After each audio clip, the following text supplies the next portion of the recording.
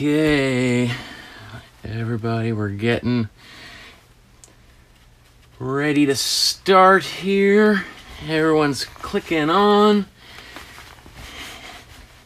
Putting my shirt on here. Oh, or my dress shirt. I was I was always wearing clothes. okay, and three, two, one. Boom!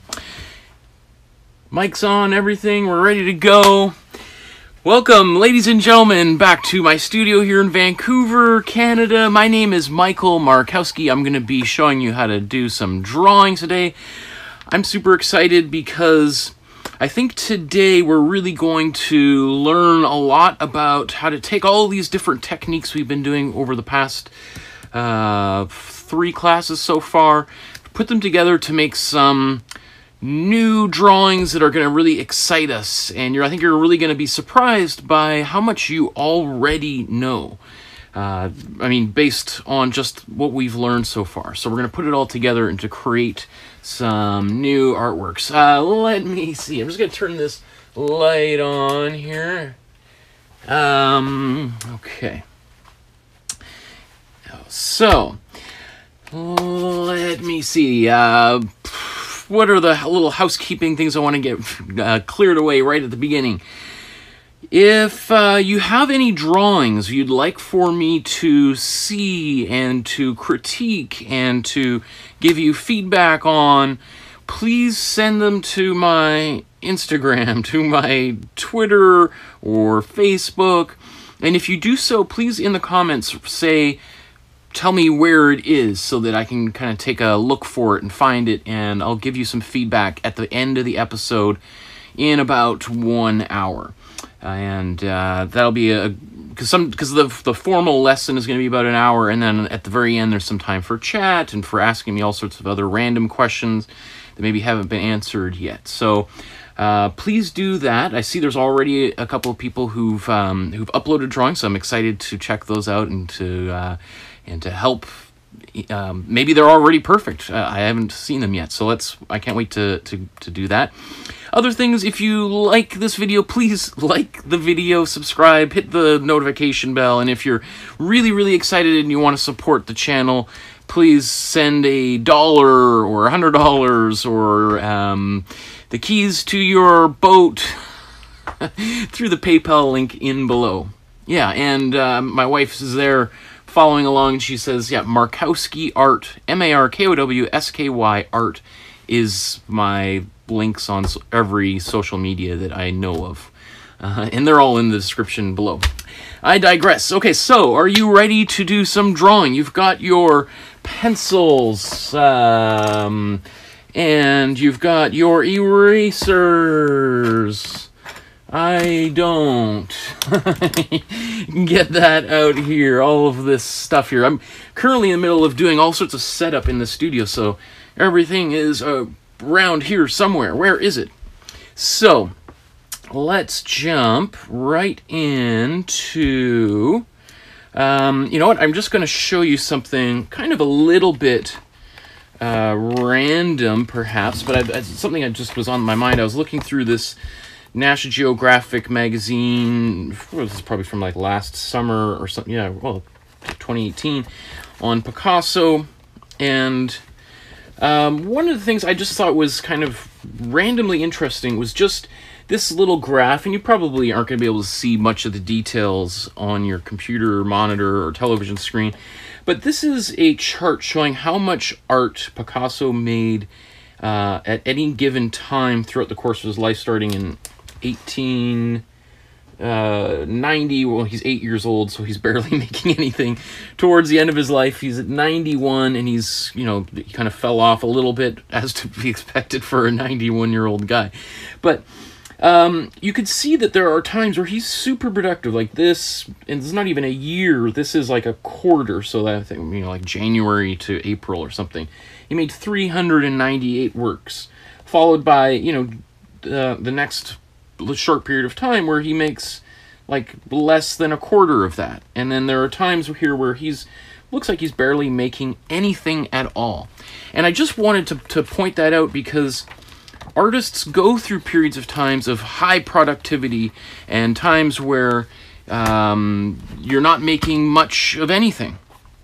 And some would say actually it's important for artists to take a break or anybody in general, right? That uh, sometimes just trying to squeeze blood from a stone is just not going to work and it's going to frustrate you. And um, so it's okay to take a break. It doesn't mean that you're you're a bad artist or a failure. It's just part of the creative process. And Picasso, despite some other shortcomings, you know, is an example of somebody who is known to be highly prolific. And so that was kind of interesting for me to see that um, his process kind of nosedived a little bit at times. And I always use this roller coaster metaphor for um, what it feels like sometimes when you're making artwork.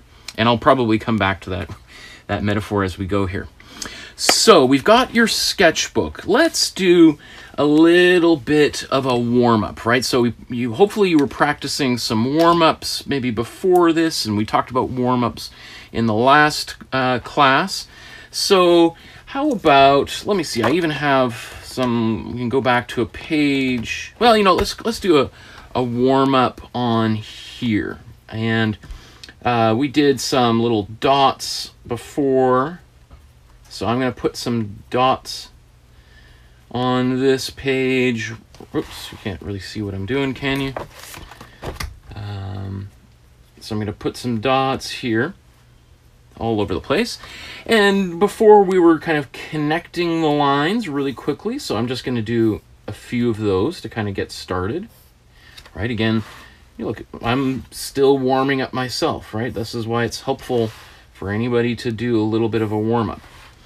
Now, after I've done a few of these, today we're going to talk a little bit about doing some arcs, right? Which is kind of like uh, a curved line, maybe part of a sphere or a circle or a uh, ellipse, right? So this time, instead of trying to go do a straight line, I'm going to try to draw like a, um, a curve, right?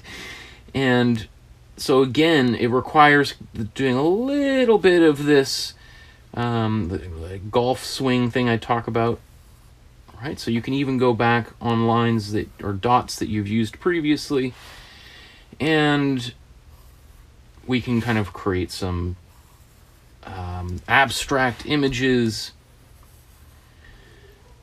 So just a quick little warm up here.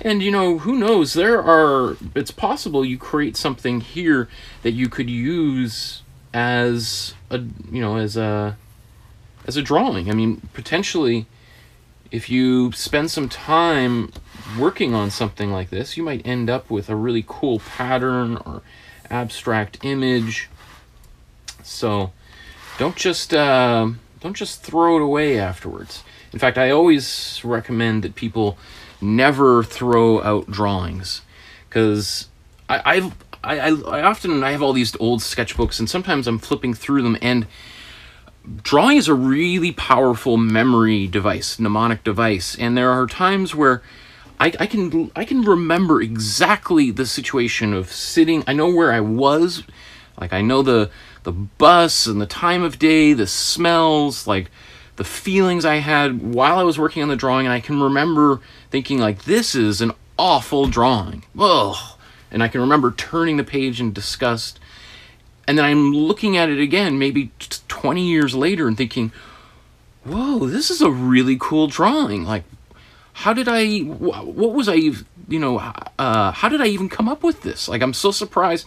So I always think sometimes we're creating things that are far better than than we think we're capable of doing um, that we realize at the time and when it's on the page it, it is kind of startling to us and we think like oh i don't recognize this this is uh, and because we don't recognize it we fear it and we might think there's something wrong with it and then sometimes it just takes time for us to start appreciating it. um, and to and to understand its quality. And you know that's what they talk about, like you know the impressionists or any other group of artists who are making artwork that the, you know let's say the public or critics despised at first you know well it's it was just like so new that people didn't didn't have any language or understanding to to process it. And and that's not just that doesn't just apply to critics. It applies to artists who like yourself who uh, you know the the saying goes are our own worst enemies. Right, so uh, I'm just gonna do a few more of these, and I hope you're still drawing and warming up even while I was blabbing on there. I guess you know as I'm working on this, I'm thinking, ah, you know, like your drawing might be something totally different than this um, which is which is great. You know, maybe who knows what what your drawing looks like. If you are really happy with it, I'd love to see it. Send it uh, send it to me in all the different ways that you can. Okay, I'm feeling I'm feeling the creative juices starting to flow here.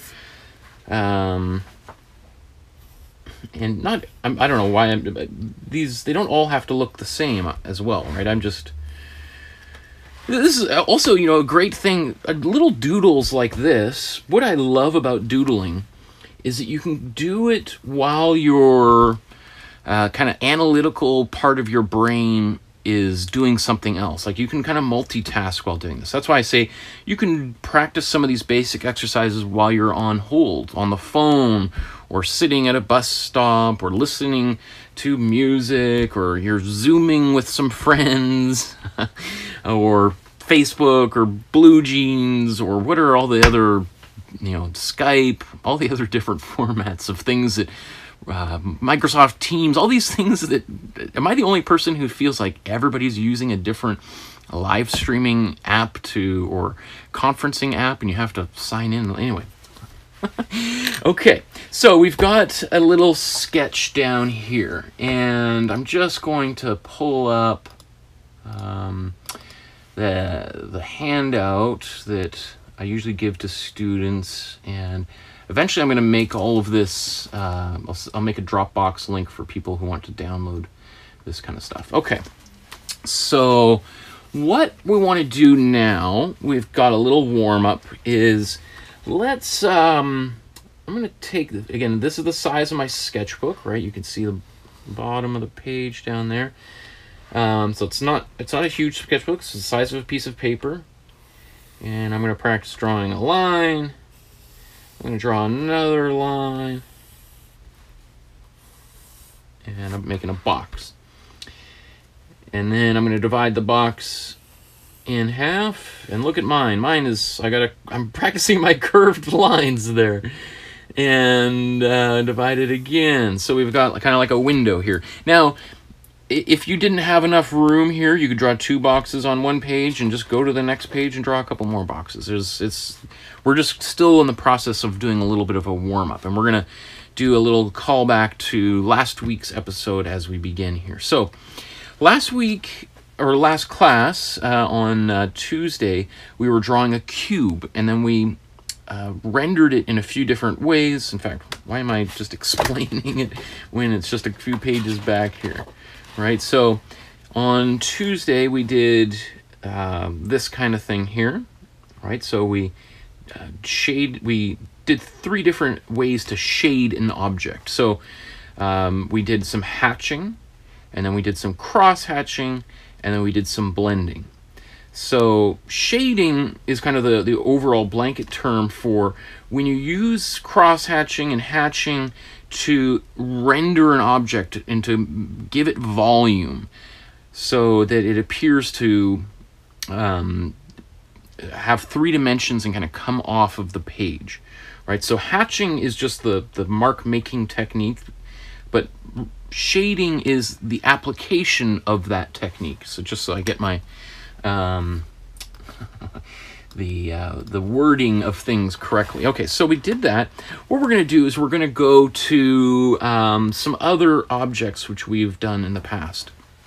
Let's see. How about the the next one? Let's we're going to draw a cylinder. So we're going to start by drawing a ellipse. All right, so we did one on the top.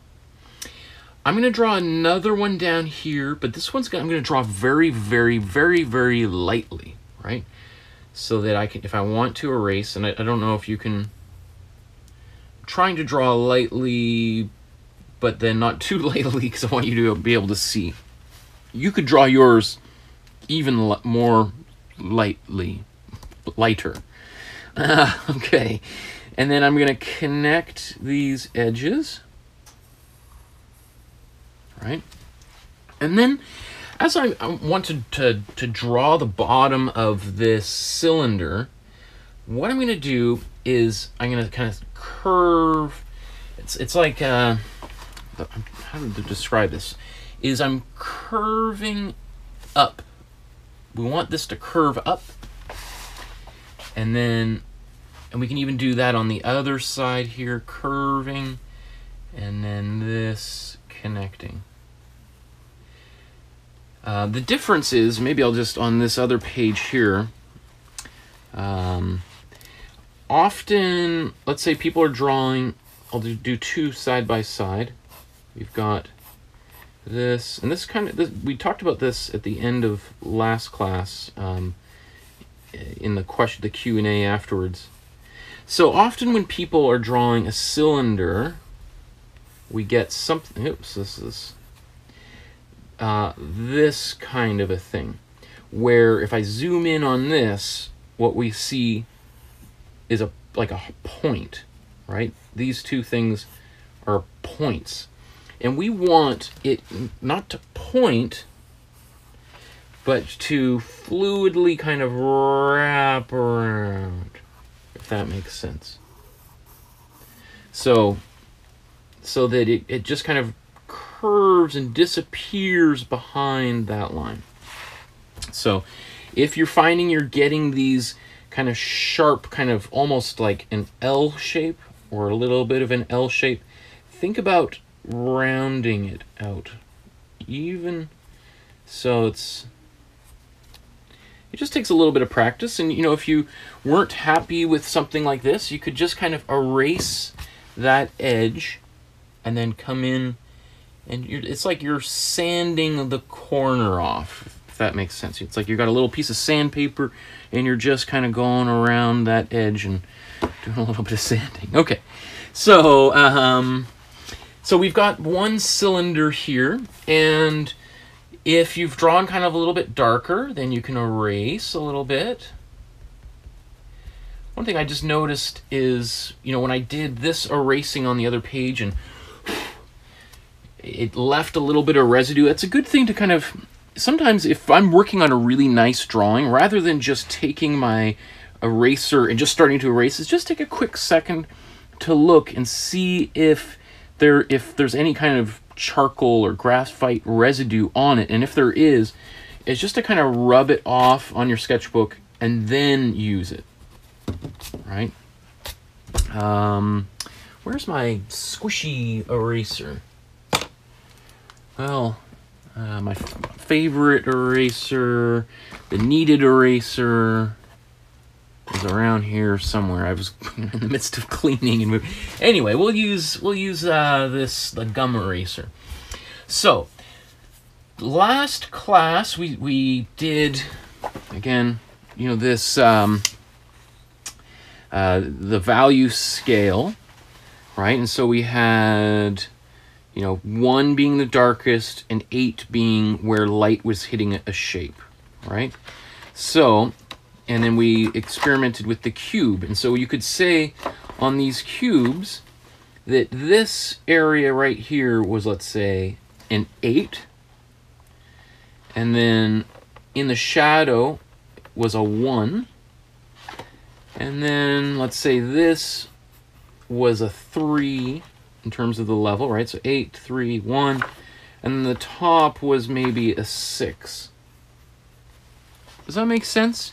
Right, so if we think about like those swatches, so let's do the same sort of thing here. Um, to begin with, I'm going to divide this cylinder. I'm just going to draw a light line on here in half, and then I'm going to divide it again in half. This is why you don't want to draw shapes that are too small, otherwise it can be a little bit tricky. Okay, so we've got one, two, three, four columns. Let's just keep on going, and let's add another one in between each of them. And, you know, they're not all perfect here. Let me see. I'm just going to switch to different view here. Okay, so let's again, let's imagine we have, and I try not to draw like little, you know, uh, like a little sun because um, we're, we're real artist and we want to try to draw something a little bit more complicated, like a light bulb. Right, so our light bulb is off here on the side. And so the light is coming here. So we can imagine that this, if we go, uh, that the light hitting this is number eight. Right? And then in fact, we can even draw a little shadow on here. And let's just make this a black, you know, number one shape right here.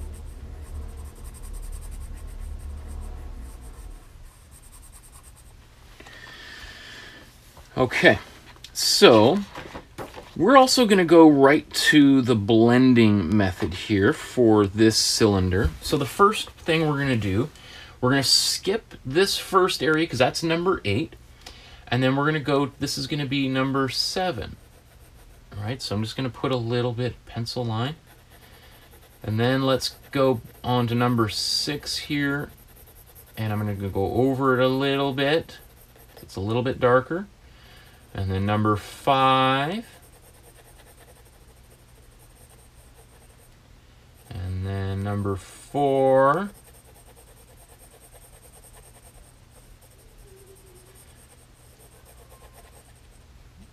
you could you could also see look how I'm holding the pencil here.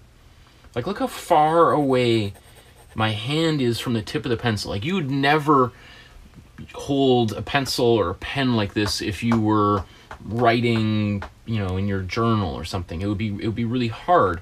Why I'm holding the pencil like this is that it it sort of makes it very difficult for me to accidentally press too hard on my pencil right? Whereas if i'm really choked up my um, you know like on a baseball bat or on a, the pencil if i'm really close to the to the point then it's more likely that i'm going to use it like i do a pencil to write you know in my checkbook right whereas when i'm holding far away like this I'm more likely to use the side of the pencil rather than the tip. And I'm also going, it's it just takes longer. I have to be more patient. So this is a way, you know, if, if some of you are just like really heavy-handed with, with the way that you draw, this helps kind of prevent that from happening. So I'll get all the way here. This is number two. And then I can look at this and I can go, okay, is this is this a nice gradient from one to the other? And I, I can squint my eyes like I'm pretending to sleep, and then I look at it and I go, well, I think we're doing pretty good here. And then we kind of, the last few started to blend together. Okay, well, let's just go back over some of these. Let's add a little bit of this number two here was too much like a number three or four. So I'm going to come in and darken that. And then I go, well, now that I think about it, actually, this here needs to be darker too, so let's darken that.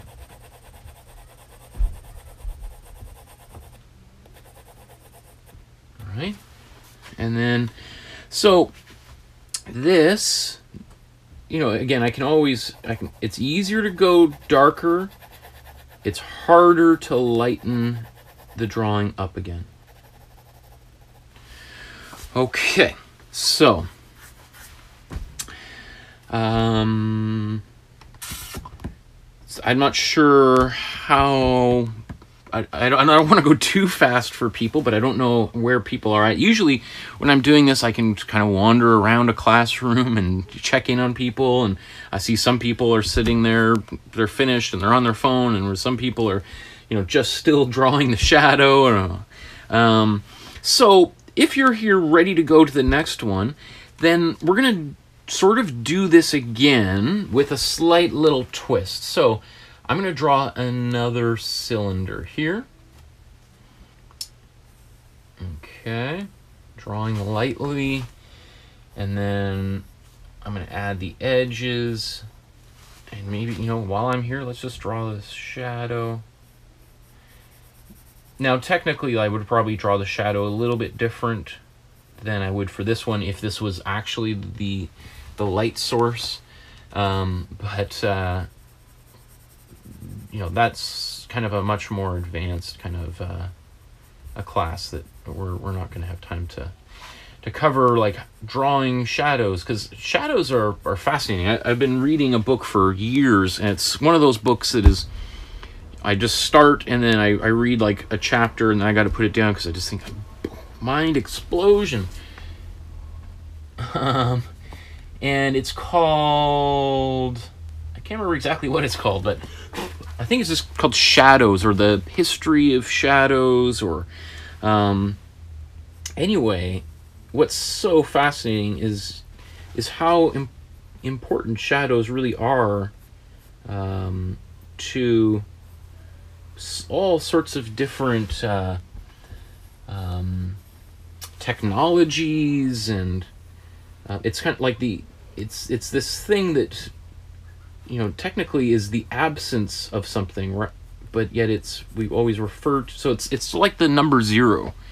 You know, it's it's not there, but we um, because it's the absence of light. It's it's nothing. It's like the the lack of something, and yet we've named it. Um, Okay, so we've done this uh, um, cylinder, and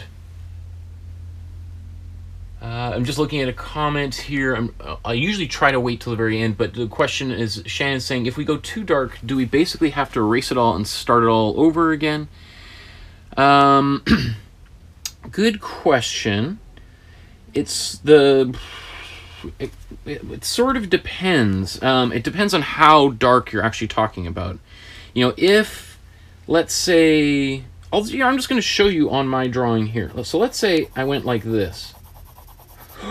Oh my goodness, what did I do? Oh my goodness, I just went way too dark there. Bad, bad, bad, bad. So I could try using my eraser. I'll show you what happens. Again, I'm going to just make sure there's no, no residue there. I'm going to try using this eraser to suck up some of these pencil marks inside.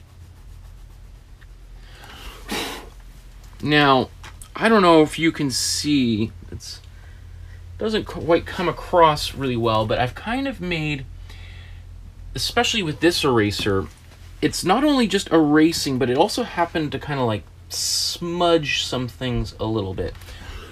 So you really have to kind of erase a lot. I can try to mend this, like once using the eraser, or to draw over top of it.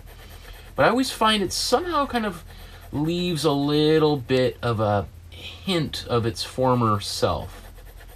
Um, which in uh, in drawing we, we use the term erasure not eraser, but erasure. Like erase.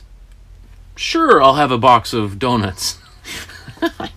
and uh, and and that it, it means that you're erasing something, but it's still it's it's the the evidence of erasing, right? There's still um, and and artists actually use this for really interesting effects to um, to kind of suggest maybe movement of a person. Like so you let's say have you draw a person throwing a baseball and you draw their arm a few different times and you erase those. So we actually see kind of the the the hand where it used to be. And that could create a really cool effect of to simulate the movement Anyway, um, so this I've, I've actually done an okay job at fixing that situation, but you might still see that there was a little bit of a problem there.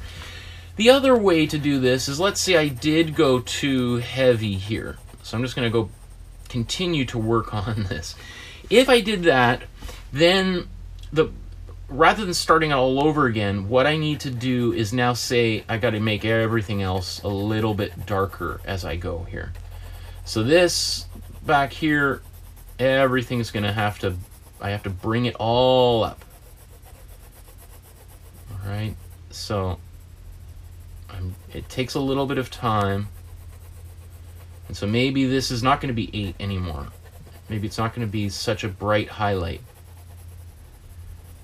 Right, so, and then this just has to keep on getting darker and darker and darker.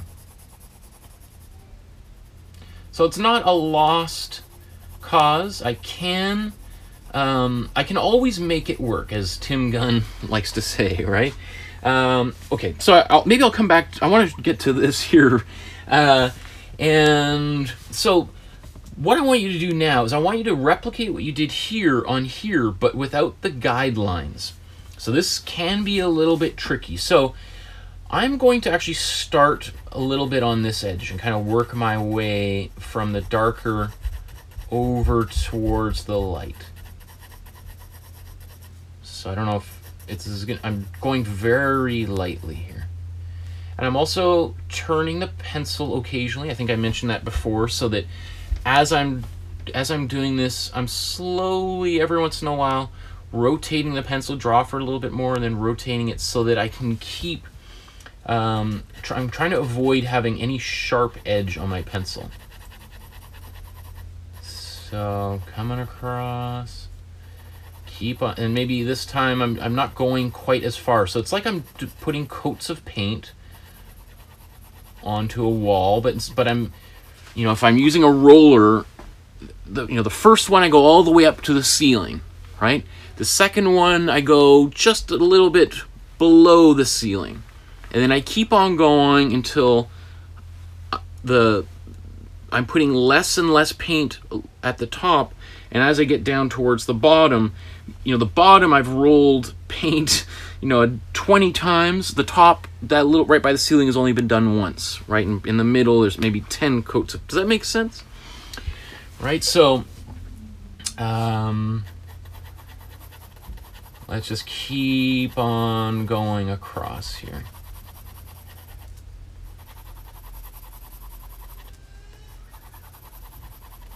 And also, I, I should say, as I'm doing this, when I'm getting ready, when I'm sort of finishing, I almost kind of just the it's like the pencil, it's like a plane taking off. Like there, it's not an abrupt boom, the plane coming right off the surface. The plane's kind of coming, and then it just sort of lifts off. And I'm kind of doing that with my pencil so that as I get closer, the, pen, the pencil just sort of comes right off the surface. All right. And I just keep on going. Right? So. So there's our cylinder. Right? And if you wanted, you could say, well, let's put just a little bit of a, not even a gradient, just a little color on the top so that it's not white because it would only be white if there was a light bulb right here shining on that surface. So these need just a little, you know, your level two or on top there, right? Okay, so that's, and you can see how even these lines that I had originally drawn in here have kind of disappeared as I've gone across. In here, um, but the, I can see them here because I'm drawing so lightly, but otherwise they've kind of disappeared into um, so let's um let's we're gonna let's draw another cylinder. I hope you're like, oh, I've had enough of cylinders already. Um, so we got a couple of ellipses. And they don't have to be perfect cylinders either. I don't want you spending time frantically erasing, trying to make the perfect cylinder to for this exercise.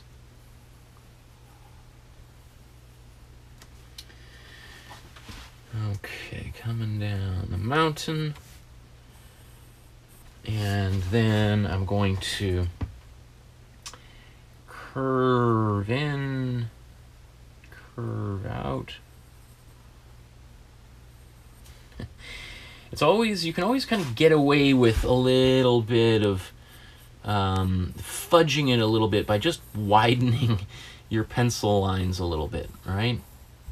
So you can kind of any anytime I've you always tell my drawings when there's a little bit of sloppiness is is the lines just keep getting thicker and thicker. Okay. Oops, and there's my head in the camera view. Okay, so we've got this cylinder here. Now, what we're going to use is we're going to use the hatching method here, and I'm going to show you um, I'm gonna well I'm gonna start on this side on, on this one here. Uh, often when people do this hatching method, they go like this. So let's say we we go across, and then we keep on putting you know another layer. And you know all of this is fine, except when I look at this, I see this this cylindrical shape that all of a sudden is flat in the middle. To me, this looks like somebody saw a um, uh, like a, a, can and stepped on it, and it's kind of collapsed in the center. And this is flat. We want it to look like it's got volume. So if we're using the hatching method, instead of drawing lines straight across, we are going to reflect the shape of the cylinder by reflecting these kind of curved lines. So I'm just going to kind of draw over top. Right, so the curving lines. See how now they're emphasizing the form. Oh, this sounds like our daughter upstairs is awake and unhappy. Oh, and I got a light bulb that just battery camera or light bulb battery that just died on me. Okay, so you can see, sorry, if you imagine this is number eight, then this row here would be to number uh, seven, and then I just did six, and then I'm just drawing more lines in between lines. And just not going quite as far. And I'm also drawing these at the same kind of pressure. So as I'm going here, I'm not pressing any harder.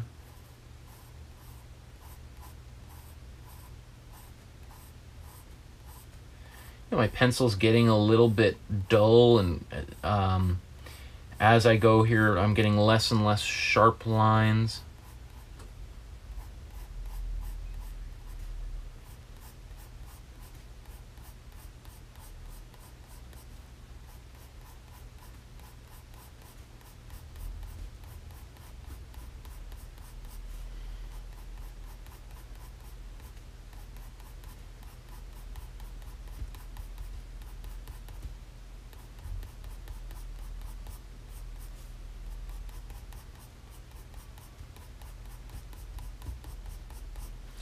Can even put, again, this little shadow of the cylinder here.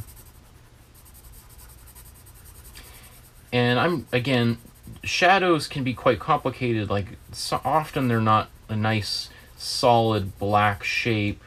They often have some variety of, sometimes there's light inside the shadow. But for our purpose, that's, I think that's good enough. Okay.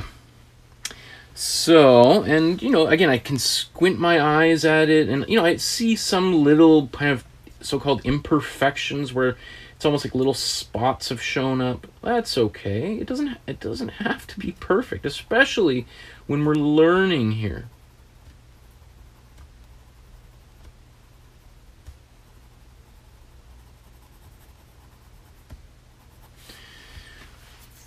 So this technique, the hatching technique, if you look at um, comic books, for instance, or etching, um, you know, uh, Gustave Doré was a fantastic uh, illustrator. You know, from the like we're talking mid 1800s French artist who did uh, Rime of the Ancient Mariner. Uh, I think that uh, who who wrote that poem. Anyway, he illustrated that with some really beautiful. Like I mean, he's just a one of the great illustrators and drawers uh, ever.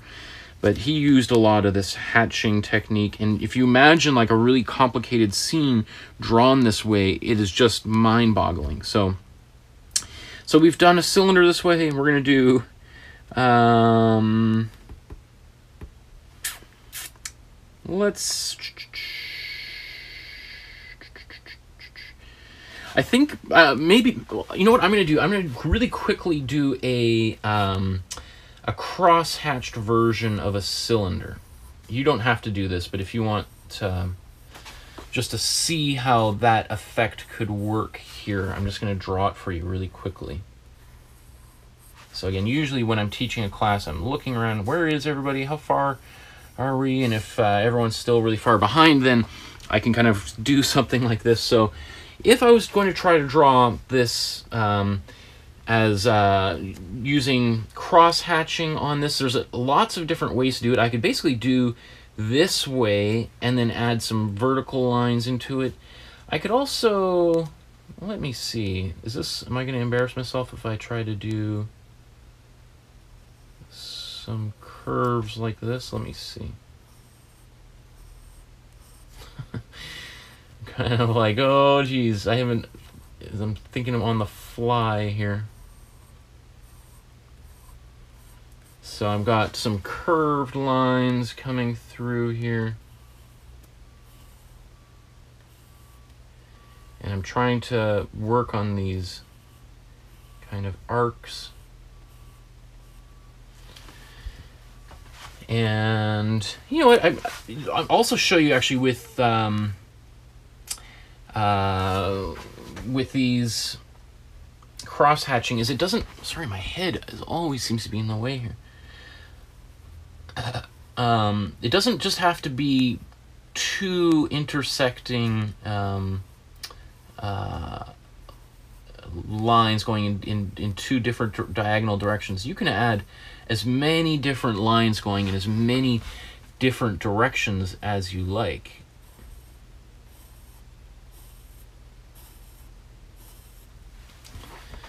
Um,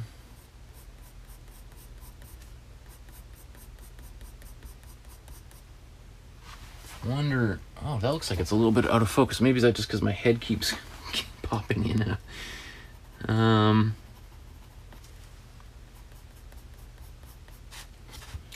So I'm just adding more and more little curves on here. And I think you get the point here. So a little quick shadow, and then we're going to move on. So you can see how there's the blending, hatching, and cross hatching used in uh, to do this cylinder, right? And maybe I'll just add a little bit of quick cross hatch to the top. Okay, so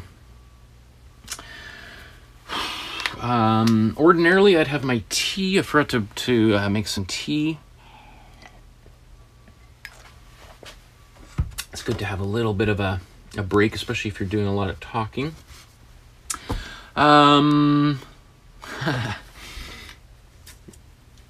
so, again, if you got some comments, questions, please leave them in the uh, in the comment section on the computer, and I can uh, if there's any drawings. Maybe you've done it some drawings today and you'd like some feedback. Like why did my drawing not turn out like yours? What did i do wrong?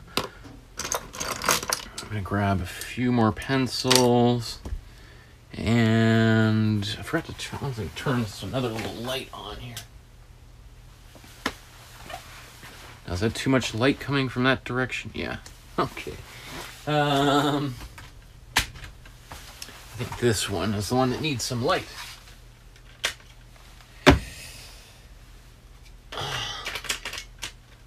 Okay, there we go. That's a little better. So I'm on another page here, and let's. We're gonna do uh, a. Let's draw another box.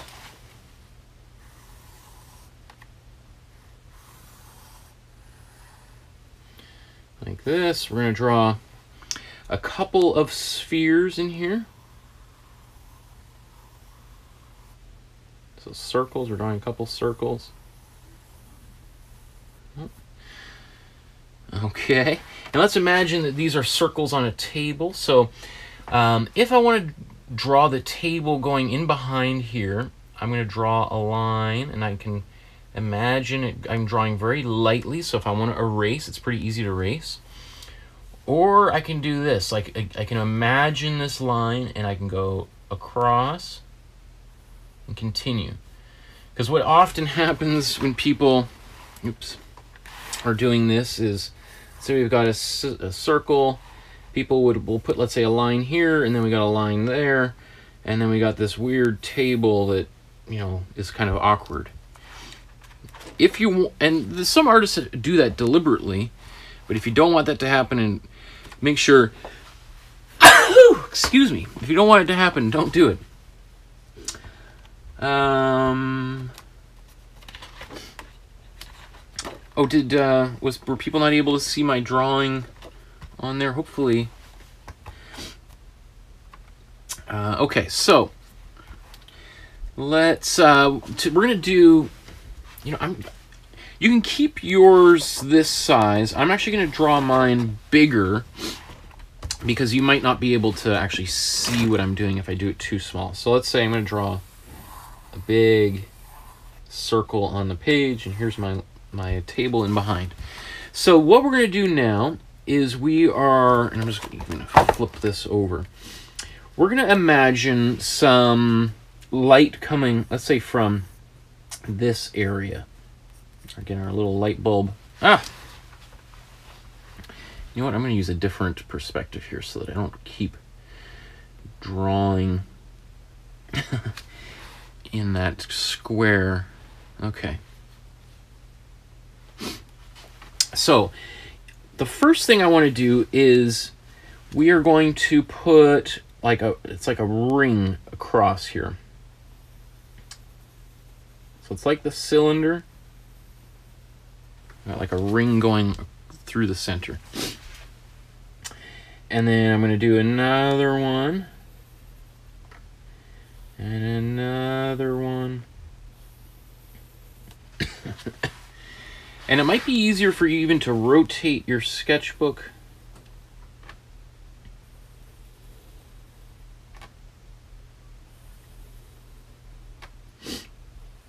And then as I get up here, it's kind of like a an oval shape. So I want to do something and I'm even going to come back and round out some of these corners. So it's like a striped beach ball. And if I'm happy with the kind of the shape of this ball, I'm just going to kind of go over it and kind of darken it a little bit. Just it doesn't have to be perfectly round. If you, if you want, you can always get like a, a peanut butter jar or something to trace the shape around. Like, whoa, that is a lopsided sphere. In fact, I'm just going to add a little bit more to it. Okay, that see that looks uh, solved my problem there, and this is that's fine because this is going to be the dark side. So let's just darken this side of the sphere. And then let's, I'm to put a little shadow under here, right? So it's just like a little ellipse. And then I'm to darken this in really quickly.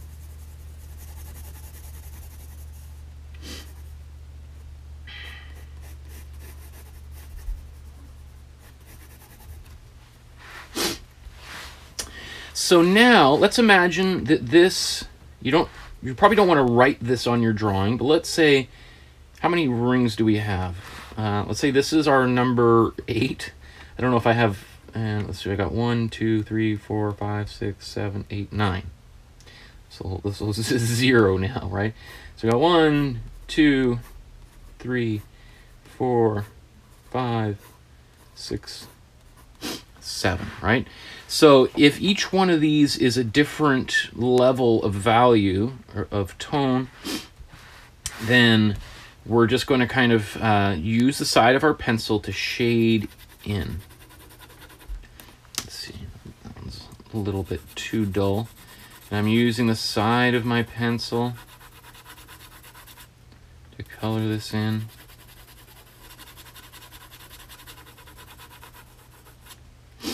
So maybe that was too, isn't dark enough. But before I'd start darkening it, you know what? I'm just going to keep on going. And maybe, you know what, I'm going to go back to over here to number seven and just add a little bit so that I know kind of how light I need to go. All right. So I'm kind of adding, you can also see the way that I'm shading this here. Again, I'm holding my pencil from, from uh, a little ways away. And as I'm kind of shading this, you can see how my, you know what, I'm going to go back to that view I had before because I need the extra space. So, um, I'm holding my pencil far away like this, and then I'm trying, I want to use this kind of arcing kind of quality.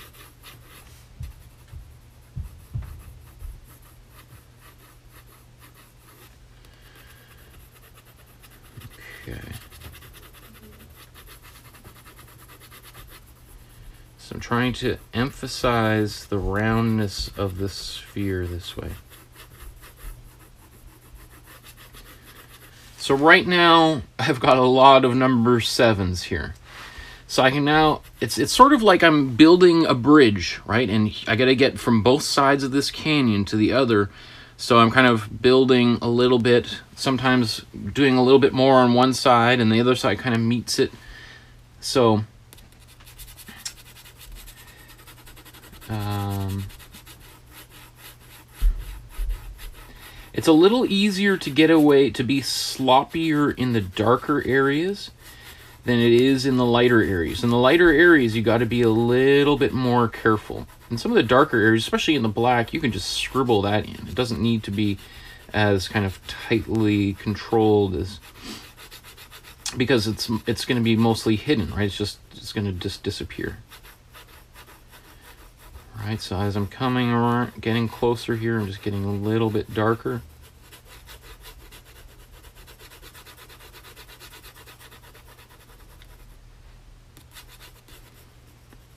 and as I'm doing it, like I'm, the pencil is is almost just laying kind of limp on the page here. I'm not forcing it down. I'm kind of just allowing it to kind of ride around, and that way it's barely leaving a mark on the on the page. But it's the accumulation of all of those little tiny, barely visible scratches that slowly darken this. Now, I'm gonna I'm I'm going slowly to do this. If I wanted to kind of pick up the pace, right, well, then I just end up pressing harder on my pencil. And when we can kind of, you know, uh, I'll get this to a, a, a bit more of a finished drawing a little bit quicker. But this kind of method, this kind of blending method is great if you're um, if you're really, really patient and you, um, uh, you know, you're really, if you're feeling kind of tentative, right, then it's, it's just a matter of slowly building things up. And if you go kind of slowly, it's, it's hard to make those kind of sudden mistakes. Although I will say that they happen all the time. Sometimes you accidentally press too hard in a certain place and then you get really frustrated at yourself. I, I wouldn't worry so much about that. Like, I think most people, when they see your drawing, are not going to see the imperfections that you can't take your eyes off of, right? Okay, I think you understand where I'm going with this because what I want to do is I want to do this again So if I go back to this page, um, I want to do this. This will be one of the last drawings we do.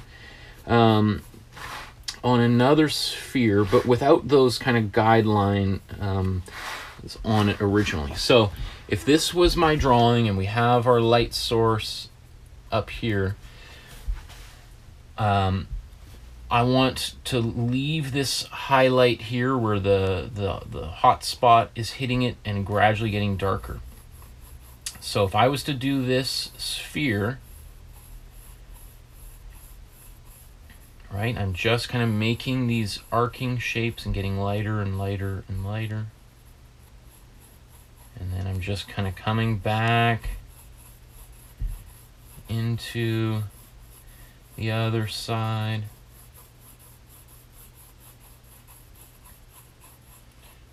Oh, and, and so you see the way that I'm just kind of holding my pencil and kind of just doing this arcing shape. Like I'm making dozens of these kind of marks, right? I'm just going up and up and up and up.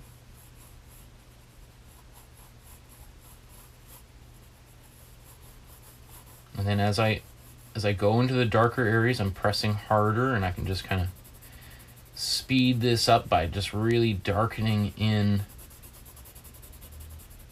that part of the drawing.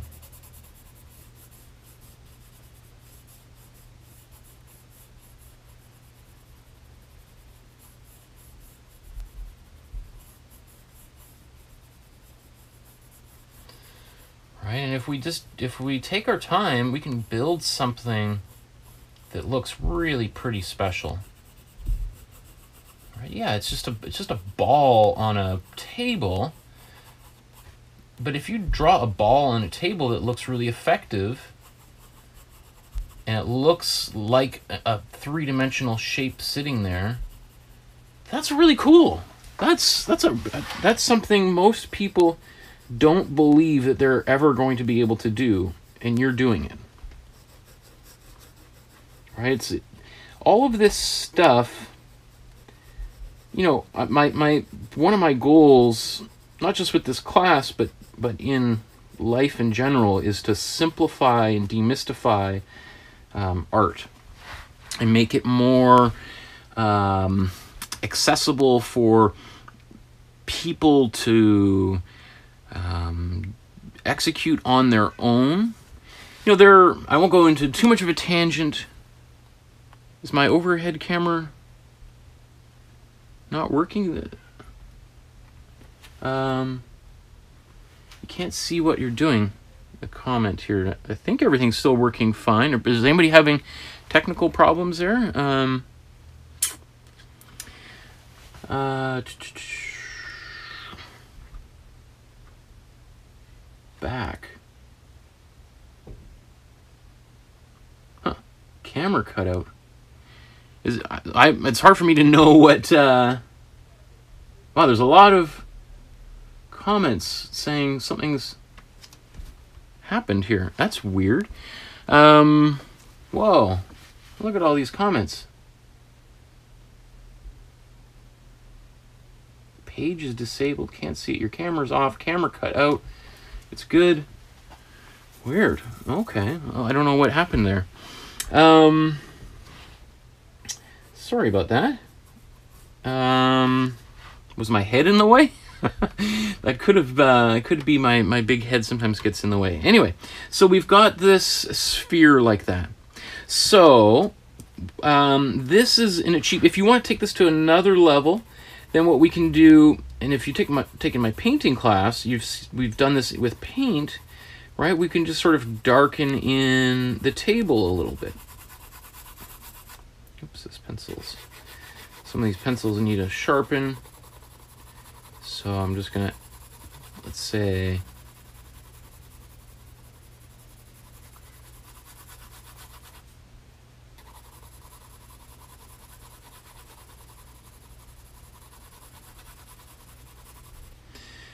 So we have this. Let's say we're going to add a little shadow under here.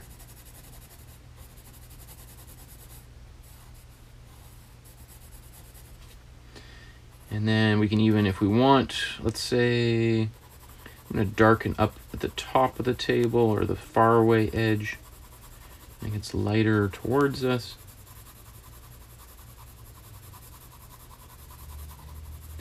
Don't worry, again, you know, this whole thing of like drawing outside of the lines or coloring inside the lines and all that kind of stuff.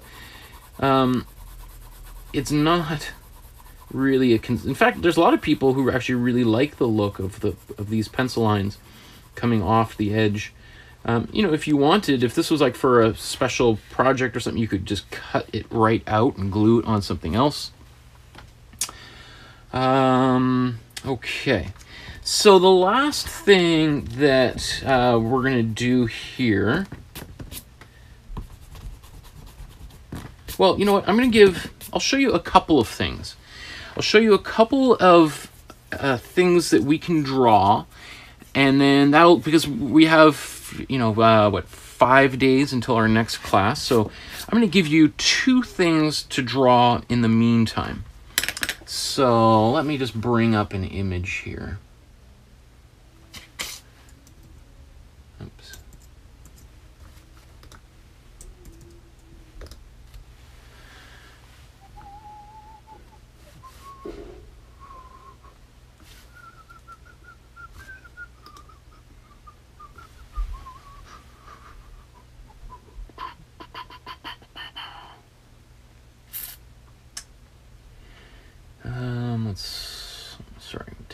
One second to get everything in order.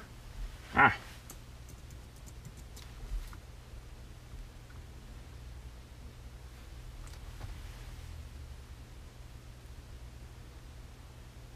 Okay. So I've just put an image onto the screen here. And this image is of uh, some circles or a sphere, a, a, a cube, and a cylinder. Right, so we're going to try drawing this. We're going to sketch it out, and then if you want to do some shading over the course of the week, you can continue working on it. You can kind of take a screenshot of this, or you can pause it and work from it. Um, so let me show you, what's the best way for me to show you how to do this? Let me see, give me one, another second here. Let's put this here, and let's put this there. Or you know what, let's do the opposite. Let's do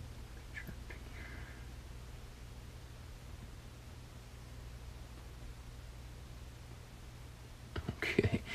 Sorry, trying to how to do this the best way possible. Maybe oops. That needs to be a bit bigger. Hmm. Okay, so what you see on the screen is this image. Let's make it even bigger. No, I won't go. Uh, okay, so I'm going to try drawing this on here. So uh, it's almost, it doesn't have to be a perfect shape.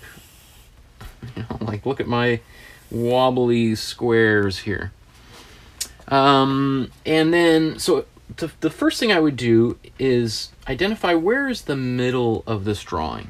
So not necessarily where the table is going to be, but what we call the horizon line. And we're going to be drawing um, horizon lines next week, so that's just a kind of a little tip. Here, making another guideline in the center. And, you know, for this one, I'm actually just going to break out some colored pencils so that it can help you see what I'm doing. The first thing I'm going to do is draw, um, is I'm going to identify where the background is. So if this is the center of that photo, the, the table is actually, I'm going to and I'm going to draw this darker. These This pink is going to be for really lightly drawn lines, so I'm going to draw it very lightly. Next thing I'm going to do is I'm going to identify where the cylinder goes. All right, so drawing, trying to figure out where the shape is. you know, again, you could use, you know, uh, some kind of thing in your kitchen to trace around. I would encourage you to try just to, don't worry about it looking a little bit, you know, like a flat basketball or something. It doesn't have to be perfect. Okay, next thing I'm going to do is draw this uh, cylinder. And just so I know that it's going to fit here on the table, I'm going to draw the bottom first this time. It's kind of different than what we've been doing before. And let's say, I mean, I, I can visualize where this goes, but I can imagine some people might struggle with that. So I'm actually going to draw the sides first, right? And then now I've got to fit a cylinder into this space, right? So I'm drawing. Now, that looks a little bit weird. This uh, ellipse needs to kind of become more narrow, right? So, and you can see that I'm, I'm kind of, I'm just sketching things in. I'm not um, putting too much pressure on myself to get it right, the, right off the bat. Now we're going to draw a cube in a way that is slightly different than we've done it before. So to draw this cube, I'm going to kind of draw like a diamond shape here on the table. Right, got this diamond kind of shape. And then it's it's kind of like the table on is on its side, like right, and then I'm going to draw the diamond back on here.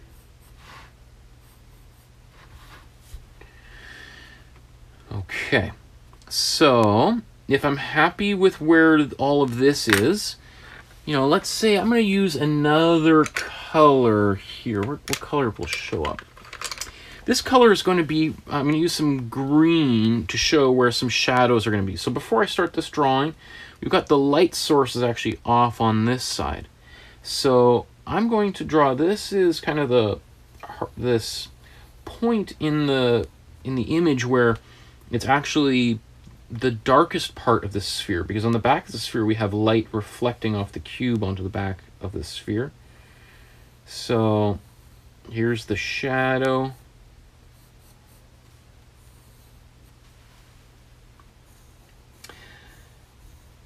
I know some of you are like, oh man, you're really showing us something, some big concept right here at the end, right before we finish.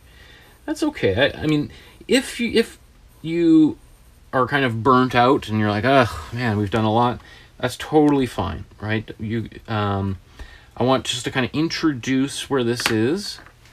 Um, and then for some people who want a little bit of extra, they can work on this over the course of the weekend.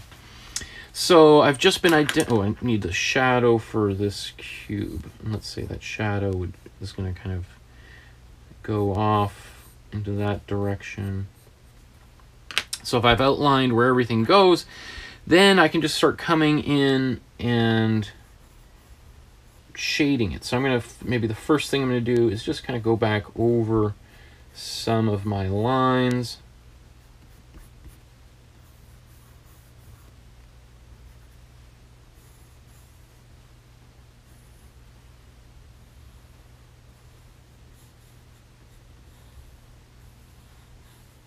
Okay just outlining things. Now I'm also remembering that that, that cylinder is obscured a little bit by the, the sphere and the cube. So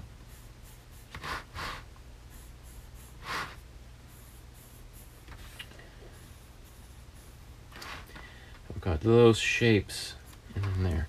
If I had an eraser, I don't think this is the, well, no, it's not going to, well, it works a little bit you could try to do a little bit of erasing with colored pencils. Colored pencils don't erase, or not well, not as effectively as your regular graphite pencil.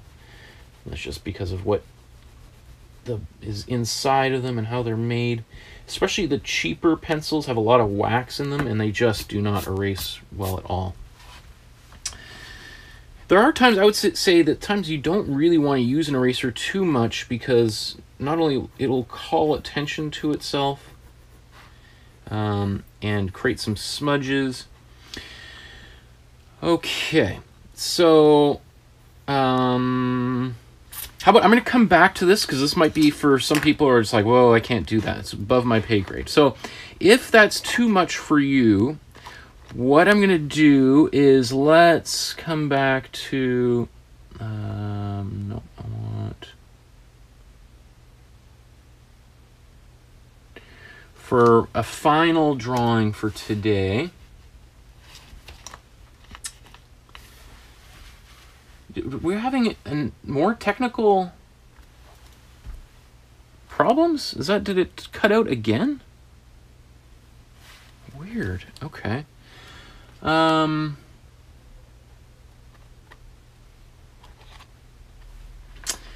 okay, I'm not sure what's going on there, but uh, so anyway, the, for a last little thing here, what I would suggest to do is I want you to trace your hand. Now you can use the back side of your hand or the palm of your hand.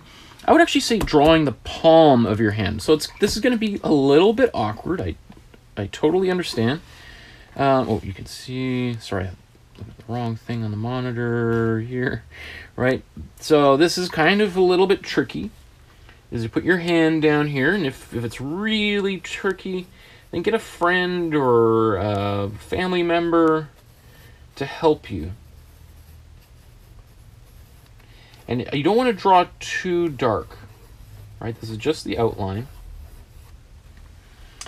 Right, and then we take our hand off and we've got an image and then, so I can see where my hand goes, just maybe, so um, I can put my hand roughly back. It doesn't have to be in the same place, but I'm just going to make some marks where the big head out of the way, where these joints of my fingers are. All right. I'll move my hand in a second once I've done all that. All right, so you can see this just now tells me that really quickly.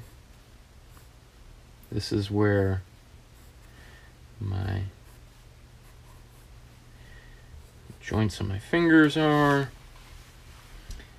And then um, in this area here, where the hand, uh, where the fingers meet my hand, and then I've got all of the different um, lines on my hand. So, what I would suggest you do, another quick little exercise, um, is to try drawing your hand and add some shading or shade your drawing of your hand and see how realistic you can make it, right? So, if I just if I look at my hand like this, and I was to say like what are the different values that I have on here? Well, I'm i am actually holding it onto a white piece of paper. Are there any places on this that are pure white that are so bright? Not really. I don't think there's anything that's a level 8 except, you know, on my ring there's maybe a couple quick reflections on here. All right, so even let's say if I draw my ring in here, there might be a couple little places that are number eight, right? Otherwise, and this then the other, what do I have here that is number one?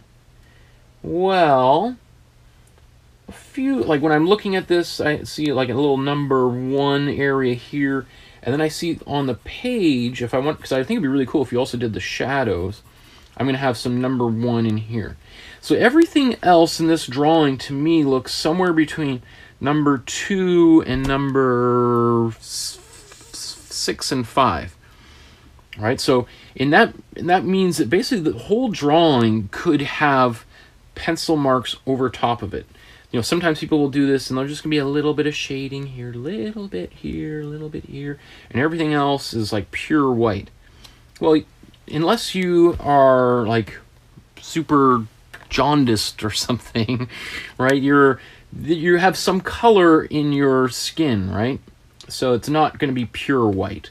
So I want if you're going to do this is to, to really, you know, take the you could even just lay down a foundation of of just like you, you can kind of go over your whole hand really lightly. Right, just kind of filling it in. And then as you, to, to shade it, you could use hatching, cross hatching, stippling, blending, whatever. You know, if you were going to use some uh, the hatching, then as we go over, we would expect, you know, the lines to kind of curve as they go across. In fact, one of the things you may want to do is just kind of go over. Now, if you're looking straight on an object, it's probably going to be not very big curves. I don't even know if you can see any of the stuff I'm drawing. But what I would say is try to draw that hand. And then if you want, you can even try doing these shapes and kind of uh, shading those in. So, does that make uh, does that make sense? Well, we're at like 520. Okay. So what I want to do, I know, I know there's a few images that people have sent, so I want to pull those up and to give a little bit of feedback to those people that sent in images. Maybe to, uh, a little bit, as I do some of that, I'll come back and, and I think I'm going to work a little bit more on this drawing for people that are interested. Otherwise, if, uh, if you're, if I've exhausted you, then you're welcome to uh, take the weekend and and I know here in Vancouver it's supposed to be a little bit nice and maybe it's nice where you are. If you are going to go outside your home, try to do it safely. Wear a mask, wear some gloves. Try to keep your safe distance from all of your uh, other people in your community so we can um, get back to life as normal as quickly as normal. And um, um, okay, so if, if, if, you're heading out, please like, subscribe, hit the notification bell. You want to send a, a, small donation, the link to the PayPal is below. And I've been very fortunate. Some of you have, have been very generous, so I really appreciate that. It really, um, your support means a lot to me. And I, um, all those little pennies make it, this, doing this feel like it's actually worthwhile. So, um, Okay, so let me bring up some uh, things. I think, how do I find all this? If you've sent me them, let me see. I know I've got a few Facebook messages, I think, here. Um, okay, let me download that.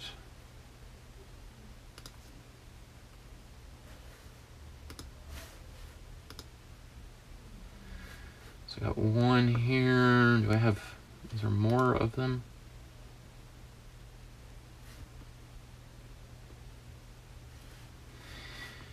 Okay, so I got one there. Yeah, I got Instagram. I don't know if anybody sent me on Twitter here.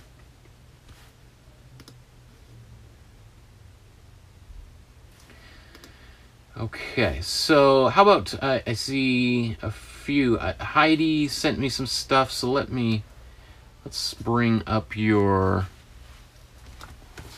um,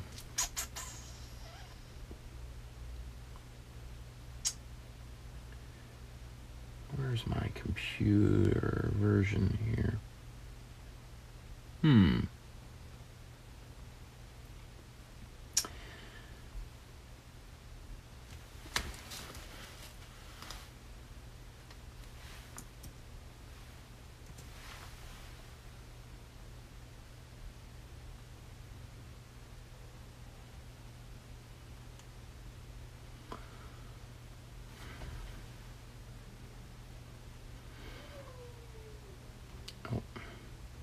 Okay, sorry, it's just taking me a second here. Okay, so here's Heidi Kelly's um, Instagram here. Look at all these beautiful photos and drawings, paintings, cool knitting. And I think these are drawings that you wanted. Yeah, you've tagged me in here. Um, just if you, uh, in the future to tag, just add a little, uh, is it the at symbol in, in, in front? That way because I, I this didn't immediately come up um, but anyway it's your drawing let's if we can make that a little bit bigger It gets a little silly when you get too big.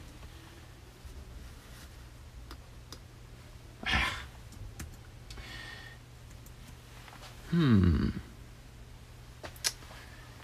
Okay, I guess I just can't go too big. I'll have to keep it that size so I can see the whole drawing. Very cool, Heidi. Um, I, I like this kind of wood texture that you've created here.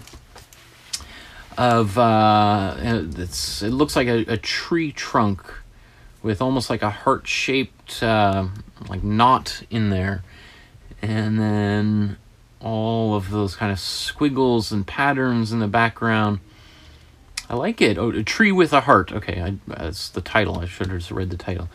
Um, I, I think the the texture you put on the tree looks fantastic. Which camera? That one there. The texture on the tree is fantastic. That turned out really, really well. Um, and the, the, the texture around that the heart uh, on the tree is also super effective. Like, and there's a little shadow underneath it that helps it really pop off. And the way that you've kind of rounded the pieces, so that's really effective. I think that there's the tree looks great as it is. Um, I think your background looks more, looks more doodle esque. You know, it's much more simplified, and um, I would. It would be. I, I mean, there's some. It's something to be said about a contrast between kind of a more refined style and a looser style, kind of on the same page together. Um, but I, in this case, it, it makes me do feel like the the doodly part is um, it's a little bit detracting from the the the tree trunk. Like the tree trunk, I think is fantastic. So I kind of feel like I want to see the background elevated a little bit, and you put more attention into the background, um, or and and that could be just adding a little bit more detail into it or darkening it dramatically. Um, and uh, I'm not sure. You know, like there's you've got like a question mark and exclamation mark and and some you know, other punctuation. All of those, in you know, I'm not sure if they are necessarily complementing the tree and the heart as much. And then the squiggles on the left side, that just kind of feels like you're filling in that space. I mean, I so I if you've you've done such a beautiful job on the tree trunk. I kind of wanted to see you also apply some, the, some of your ability into the other space rather than just filling it up with stuff. Uh, overall, really great drawing. I just think it, it can be better. There's whenever I look at my own drawings, I always think they can be much better. Wow, fantastic! Look at this face, doodles. So, um, that's wild. So this is great. It looks like you've you've like taken just this abstract amoeba like outline and then started filling it in with facial features and then you started doing this shading that we've been talking about uh, today to give it that volume and to make it look three-dimensional. And um, i don't have a lot to add to it. I think it's really fantastic. It was really great to see your imagination in here and to see like the stitching around the lips there, the kind of collar, how you've done the collar I think is really effective. I think if anything areas that could be improved is maybe the I don't know if it's like some tassels or worms or rope or whatever it is that's kind of kind of holding that mask that appears to be. I think those look like they could use a little more attention and the hair looks like it could use a little more attention. And what I would do, especially for the hair, is think instead of one big block of hair, is going in and trying to kind of articulate more hairs in there. So as you're shading it, you're not just kind of randomly doing this, but thinking about like going in and emphasizing that form with the hair. That looks great. I don't think there's, you know, especially if this is your what you're doing as a doodle, it's really cool. What I think is even really neat is there's I guess I the these are supposed to be eyelids, right? These those look like the intent is for these to be eyelids and eyelashes, obviously. In my mind, however, I see this as like a cavity, like a the uh, what, ocular cavity, eye cavity, and then the eye, this being an eyeball right here, and almost like one eyeball shared by both eyes, and then this is like the inside of the skull here. That's kind of what how, I, and I actually think that looks really cool. Um, maybe it's not what you intended. If you wanted to make this look more like the eyelid, um, instead of these, I would maybe have lines that kind of curve this way around on, on either side. Um, and then maybe de-emphasize this quite hard line in here. And this might have been done much softer because this, it, be, with this really hard outline here, it looks more like this is um, not just a fold in, in the eye, but a, an opening into another space in behind, if that makes sense. Okay, great artwork. Thanks for sending those to me. Um, there's a, a couple more that people sent. Um, this is, oh, or just, uh, yes, the hair was really bad. I was using a 4B pencil. um, I'm to bring this one up. This is Sam. Sam sent this in. And that looks cool. Look at this beautiful bird. I, I don't know anything about birds. I'm not a birder or bird watcher. I, I like birds. They kind of terrify me a little bit. I've taken lots of photographs of birds. Um, uh, uh, birds and, and spiders, just their, their movements are kind of seem unpredictable to me. So I, I'm always a little bit anxious around them. Not that I, I don't like them. I just probably wouldn't have either one as a pet. uh, anyway, um, this looks really cool. It's a little bit pixelated because of the, the, the probably the way Facebook sends messages, but um, so I can't see all the fine detail in here, which it looks like you put in into the uh, into the feathers here.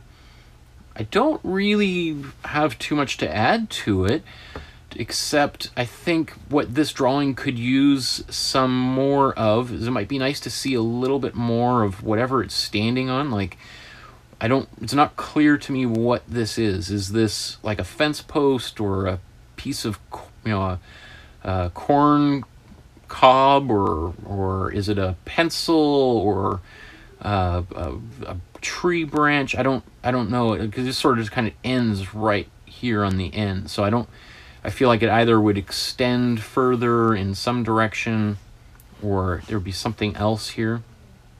Um, having said it is kind of the way that you faded it out is kind of nice. It's nice to see it kind of fade out here. Um, I also want to see maybe a little bit more contrast and for it to get darker. Like it would be nice, I think under the wing I expect to see a little bit more shadow I'd like to see maybe some darkening under here and maybe under here. And even you can get really dark. So it's, a, it's that contrast between light and dark. And I think a lot of people, you know, if we go back to... Um, uh, I think a lot of people when they're drawing, they kind of stick to... Come on. Where do I have to be? Um, they are a lot of people stay in this range here, and drawings kind of, or especially in this, if we go to the blending, are kind of done in around here. And people don't allow themselves to get really, really dark. And by going dark, you you add more depth into your drawing. Um, when when you don't have that darkness, things can sometimes look like they are like there's a lot of atmosphere in between us. Like there's um, because if, if, for instance, if you just open your door right now and, and you look outside, you'll see, and let's say you, you have an object, your hand, you hold your hand up, you're going to see your hand is going to look, the colors are going to be more vivid, the, the shadows and everything to be more vivid. And then if you look at the house across the street or the building or the tree, it's going to be softer in color. It's blacks in its shadows aren't going to be as dark as the shadows on your hand.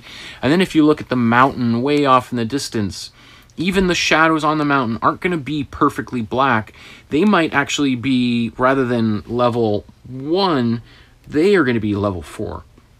So when I see people's darkest value in their drawing at like a four or a three, if we use this kind of scale, what it it makes me think is that there's a lot of space in between us, and that I'm seeing something kind of far away, and that there's, you know, the the atmosphere, like particles in the air that are are diffusing the light, right? So I mean, great color. I mean, I love all the color in your in your image. Um, the contrast of color is beautiful, and the attention to detail with that kind of uh, aqua blue in in the feathers by the on the head. Up in this area here is also really nice. So it's just a matter of just pushing the darkness just a little bit. Okay, let me see. Um, where I think we had a couple more in here. And then this, I thought this is fantastic. Um, this is a drawing by Ramon, who is, was a student in, he's been in a, a few of my classes before. Why is, uh, and so I just wanted to bring that up. He sent this to me asking for, or you sent it to, because you're, maybe you're still watching, uh, Ramon. You sent this to me to give you feedback on. And I remember you, I, I think you, this is the drawing you were working on in class.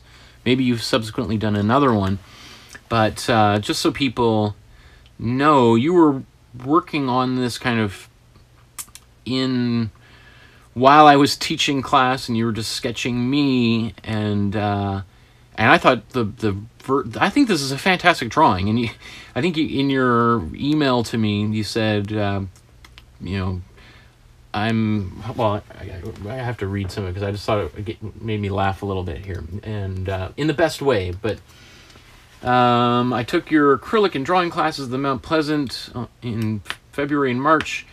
I'm now drawing the class. Following your classes online, please criticize the attached drawing today if you have time. I am 77 years old or so and do not have much time to get better. A frank opinion is best for me. I, I I'm sorry for reading that, but I just you know, so you you want the harshest criticism I can give you because you want to get better, and I, I I actually really appreciate that. That's not everybody is willing to to um, or really wants like real you know harsh feedback or potentially harsh feedback. Um, so you you have a really open spirit, and uh, I I really think that's that's really important for for making art or any kind of creative or really anything in life is to is to not taking things so personally and to, to actively solicit feedback i think is important. That's why i encourage anybody to send me pictures because um, but i think this is fabulous. You know if, if, I, if i am a little bit shorter and i think looking into this camera where i gotta go this way I think you've done a pretty good job. And you were doing this while I was moving all over the place. And you, I, I, you'll have to remind me. You had a really interesting process for doing this of kind of drawing the drawing and then tr- tracing the drawing, drawing it over and over again until you got better and better. I mean, what can I say? You're using all the techniques that we've been talking about here. You know, you've got a really nice blending. Um, you know, the the we can this feels like a different texture than the texture of my skin. It's weird to be evaluating and drawing of myself. Um, you know like what would i say in order to help? Um, i don't know. Like i think you know, if you were to, to make it more accurate to me, potentially my eyes could be slightly further apart. So they're maybe a little bit close towards one another. You really want to think at least one eye length in between these eyes. Um, so they could, this eye could go just a little tad to the left and potentially, you know, there is usually either around one another eye length on either side or half an eye depending so it's possible this, but so you could bring this side of the both faces in just a little bit tighter in so it's not so wide. I mean, I would like to think that I'm I'm, I'm not a thin guy. um, but um, I, I don't think you mean uh, proportionally I think you've you've got it and the the fact that you were drawing this from life rather than from a photograph is quite amazing. Um I think in the hair the hair looks a little bit scribbly. It looks again when I'm always telling people is trying to kind of draw each like not drawing every strand on its own, but it does feel a little bit rushed. So it feels like you know for instance parts and that's this is not unusual in fact we were just talking about another drawing that way um, i would say most of the time that's how people approach things is that there are parts of a an image that people work really really um, uh, uh, you know they, they take a lot of time to develop and then other parts that they kind of go go fast on. So for instance, often when people are drawing a portrait, they spend a lot of time on the eyes and nose and the mouth, and then and so then they spend a little bit less time on the hair, a lot less time on the clothes, right? And then virtually no time at all, if any, on the background. That's just how a lot of people work. And that uh, in, in art school, I was taught you want to apply the same amount of attention to detail to the whole image. So that it's not just one little part of the picture that is getting your artistic attention. You're you know being generous to the whole rest of the composition. So i mean and you could like an example of somebody who does this really effectively is vincent van gogh or vincent van gogh right? As I think you're technically supposed to say his name. So what he does is he does a great job in his backgrounds. Like he he never very rarely left his backgrounds blank. He would always kind of fill them in with something. I'm not saying that you need to, but at, you may want to consider putting in a gradient of, uh, a, of some kind of shadow. You know, like like in behind me. You know, you, there could be a little shadow in here. Um, it could have flowers or a pattern. Um, just something to think of like how to add a little bit more dimension or, or in space into the picture. Um, other little things that I notice is it looks like there's a few places where you were drawing and then erasing, and then that's what happens when you draw and then erase. Is I wonder if I can just reproduce that effect. So let's say I make a bunch of lines and then I try to erase those lines. And then do you notice how like even though th those lines were virtually gone by shading over top of them those lines have reappeared. And that's a function of you know when I'm whenever you're using a pencil on paper you know so this is my pencil. You know I'm making and we're looking from the side, this is my piece of paper. Wherever I'm drawing lines, I'm kind of I'm pressing into the paper, and I'm what's uh, the opposite of embossing? Uh, you know, embossing comes up off the surface, and then whatever that is. So you're kind of creating these little valleys, and then you're erasing, and then you're kind of trying to. So you're no longer have this even surface. So when you go over top of it, it starts to bring out some some lines. So anyway, I go back to your drawing it, I can see some of those kind of erasure points. I talked about erasure briefly earlier. Does it bother me? No. Doesn't bother me personally. I, I mean, I wrote part of my master's thesis on uh, the on the idea of erasure and this. For me, it's the evidence of an artist's eye looking at something and that kind of you know, the the desire to to get it right and so I like seeing that. I like seeing some of those places where you could see an artist was working into an area. Um, having said that, I know a lot of people, especially when they're beginning, those points that I love so much are parts that cause the most frustration to other people when of in their own drawings but the, but I would say most people would look at this drawing and not see any problems in it whatsoever. Um, and likewise, I I don't really have anything negative to say about it. I know you want the harshest comment I can give you.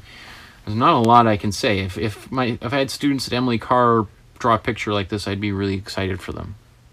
And that you're able to do this and you were taking my classes makes me really really happy and, and proud of you. So um, you know, the other little things too. I like how even this the bottom.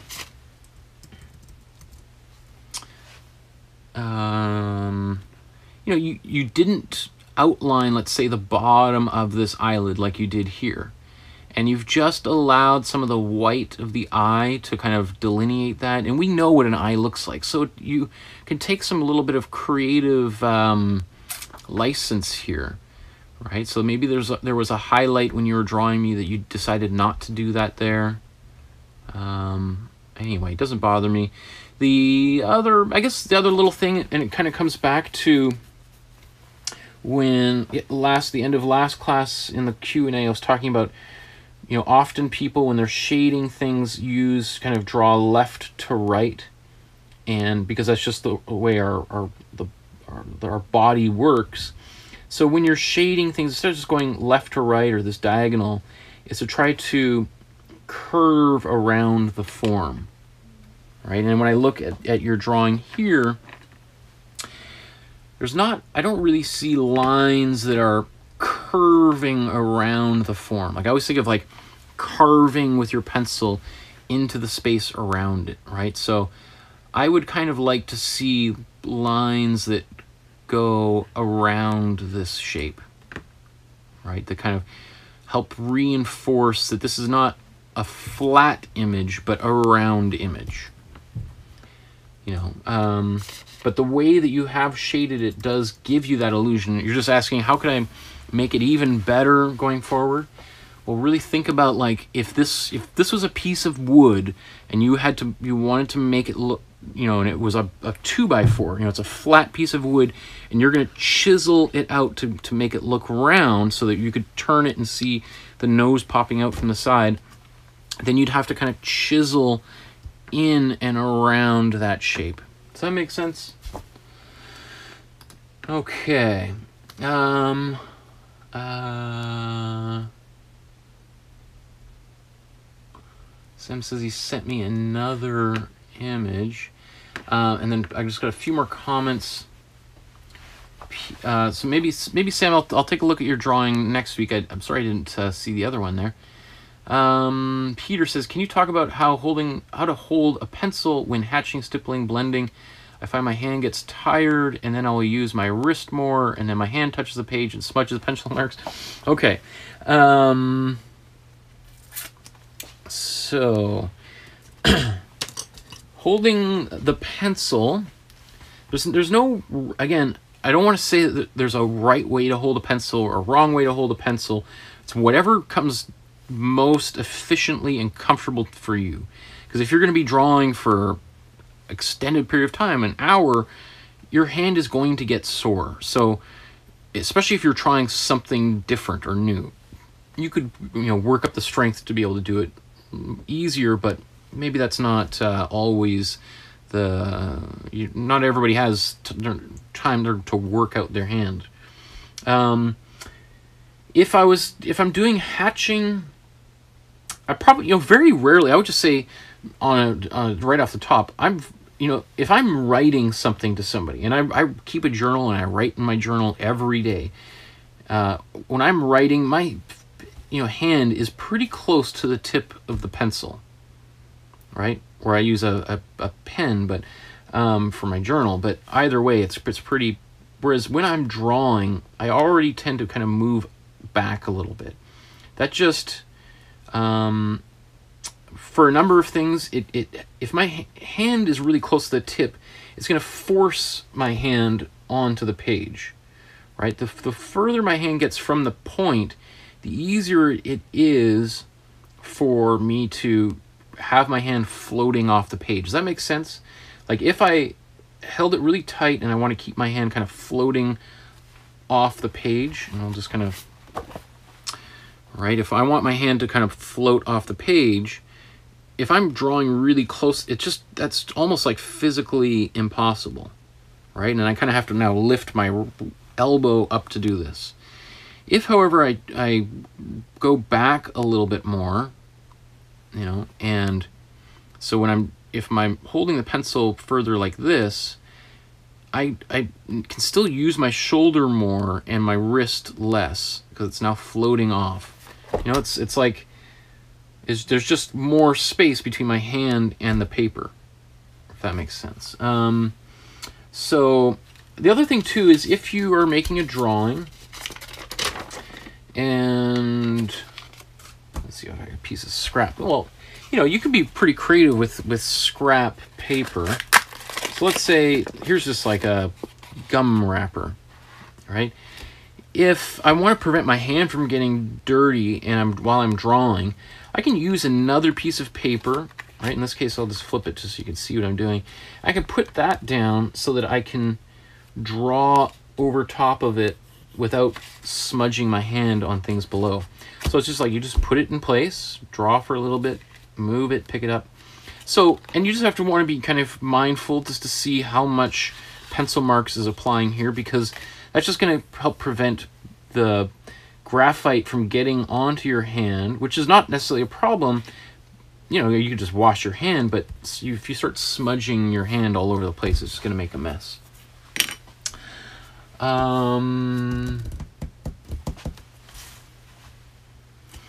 and then,